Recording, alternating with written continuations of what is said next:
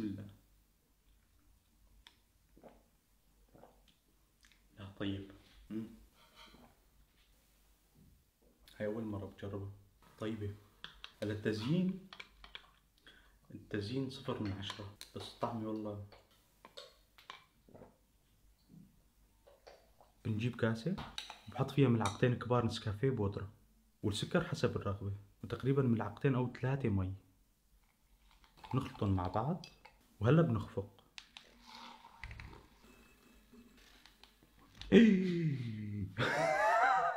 المهم هيك بتكون جاهزة. بنجيب الخلاط وبحط ملعقتين كبار كاكاو وتقريبا 350 ملي من الحليب.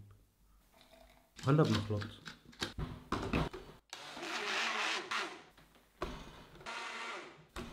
عندي هون شوكولات ذايبة مشان التزيين.